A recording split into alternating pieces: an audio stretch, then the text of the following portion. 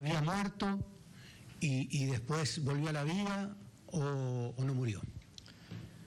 Yo eh, tengo varias hipótesis, una de las que, las que, en las que más fuertemente eh, creo con respecto a la paciente es que por el grado de deterioro de su estado general en relación con las patologías que la paciente padece, es que sus signos vitales y sus funciones vitales básicas fueron indetectables para el profesional que la revisó.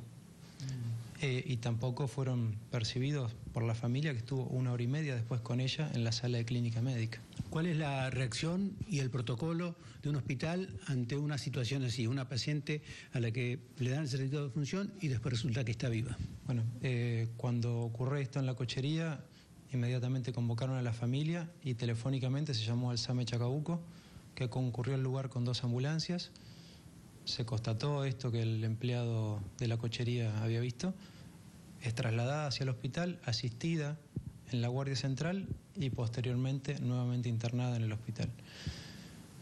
Desde anoche que como directivos nos presentamos eh, y nos pusimos a disposición de la familia y a, hacernos cargo de la situación.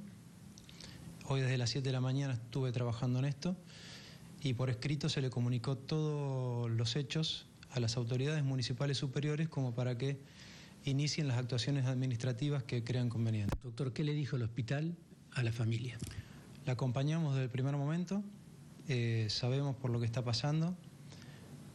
La situación de salud de la paciente era de agonía antes de esto y sigue siendo de agonía por las patologías que padece. la familia lo confirmó. Y realmente queremos que como médico y como ser humano que, que este último tiempo de vida que tenga la paciente sea con un final lo más humanamente digno, tanto para la paciente en sí como para la familia.